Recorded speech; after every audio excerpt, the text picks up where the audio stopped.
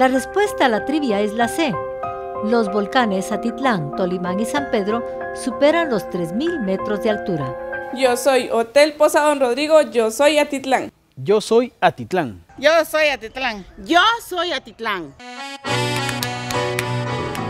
El director de AMSCLAE, Iván Azurria, es una persona que con su entusiasmo y energía ha logrado convencer a muchos lugareños, alcaldes y personalidades del gobierno e iniciativa privada para que así todos juntos rescatemos el lago más bello del mundo. Y me encuentro con Iván Azurdia, él es el director de AMSCLAE. Tenemos mucho de qué hablar, Iván. Muchísimo. Hay muchos secretos mejor guardados que tú me vas a tener que contar, pero uno de ellos es cuáles son los problemas que tú estás encontrando en el lago.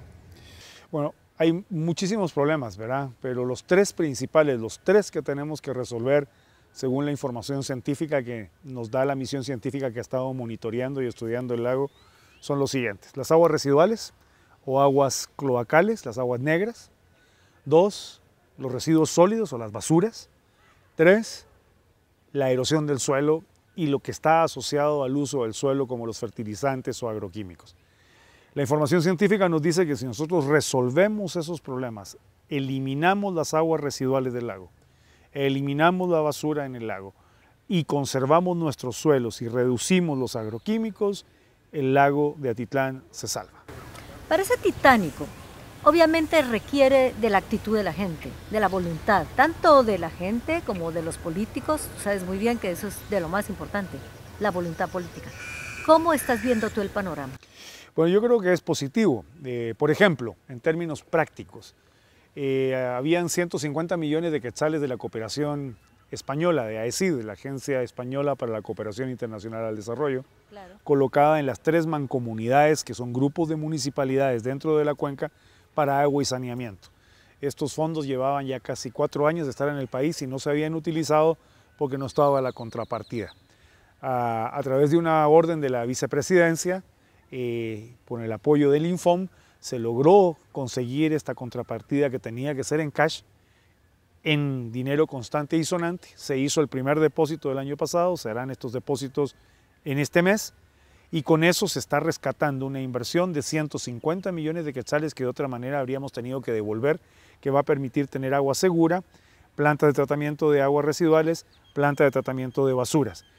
Eso es muy importante, esas son acciones concretas, pero eso no es suficiente. También, gracias al apoyo del Banco Interamericano de Desarrollo y del Infom, se va a financiar el plan maestro para el saneamiento de la cuenca del lago. Esto es importante porque en Guatemala han habido solo dos planes maestros que yo sepa, el de la ciudad capital que se hizo en la década de los 70 y que por eso la ciudad capital más o menos funciona en términos de agua y saneamiento, y este va a ser el segundo que se ha hecho en la República.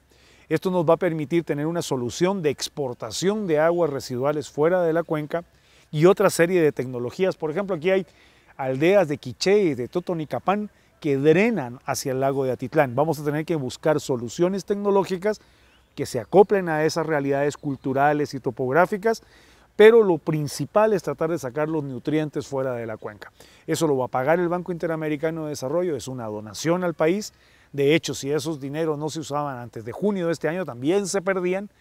Entonces, los recursos están, hay que, hay que usarlos.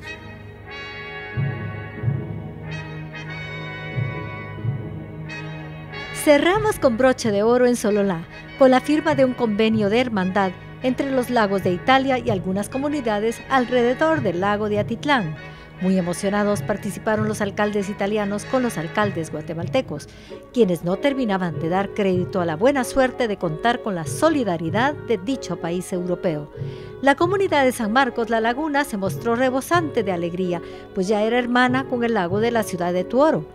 La comunidad de Santiago Atitlán también se regocijó, pues se volvió la hermana del lago en la ciudad de Leco, y la comunidad de Garda hermanó con Amsclae y esperamos que ese conocimiento se pueda compartir con nuestros hermanos de Italia a través de intercambios, a través de, de actividades que podamos hacer gracias a esos pactos que el día de hoy se firman. Y esta vez me encuentro con Mario Superole y él es el coordinador de África 70 Guatemala. ¿Qué es África 70?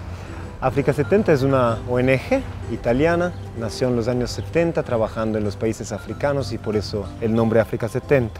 Desde el 1996 estamos trabajando en Centroamérica también, en Nicaragua y en Guatemala desde el 2008, especialmente aquí en la zona de la cuenca del lago Atitlán. Y vinieron a Guatemala después de la tormenta Stan, ¿no? Exacto. Después de la tormenta Stan, la Asociación ADECAP de Santiago Atitlán empezó gestiones con distintas entidades internacionales y nacionales y así fue que nos conocimos y venimos aquí a trabajar los temas de medio ambiente. Y estamos con Vittorio Campioni, él es el vicealcalde de la ciudad de Leco, donde está uno de los lagos más bellos de Italia, que es el lago de Lario y también que le llamamos como. Pero también tenemos con nosotros a Luigi, Luigi Perlioni, ojalá que lo haya Perfecto, no, está bien. Ok, y quisiéramos preguntarle al señor Vittorio que si el lago que ellos tienen, el lago de Lario, sufrió alguna oportunidad, algún problema grande como que nosotros hemos vivido con el lago de Atitlán y cómo lo curaron. Nel passato, fino agli anni 70, Anche il lago di Como, Lario ha avuto problemi di inquinamento dovuti sia agli insediamenti industriali che alla presenza delle città. Quindi in quegli anni sono stati costruiti nei vari comuni degli impianti di trattamento che hanno migliorato molto le acque di scarico. Hasta los años 70, dice el vicealcalde Campione, el lago de Lario o Como sufrió niveles de contaminaciones altos que, que fueron causados sobre todo por la presencia de industria y por la antropización del. Por ende, en los años 70 empezó un proceso de construcción de sistemas de alcantarillado y de tratamiento de las aguas eh, residuales e industriales. ¿Cuál fue la estrategia que ustedes implementaron para poder divulgar y para poder comunicar a la gente que tenían que tratar de, de hacer todos los cambios necesarios?